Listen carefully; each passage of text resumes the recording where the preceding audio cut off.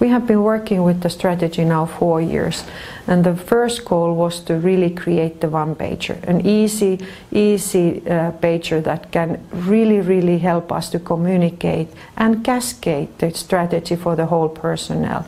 After the one pager, then we define the must-win battles and the breakthroughs for each and every must-win battle.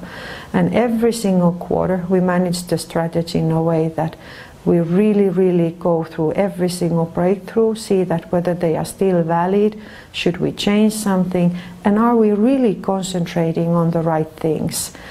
Yeah, for, for us the process works very nicely and very well.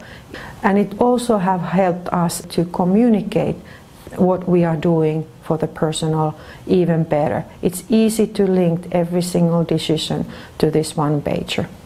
I would say that uh, strategy will never happen without managing it. So this has really helped us for managing and, and putting the priorities on the right level and ensuring that the, the things that we are doing are really making us to go to the right direction. But also we have been able to provide the results that we have anticipated or we have promised.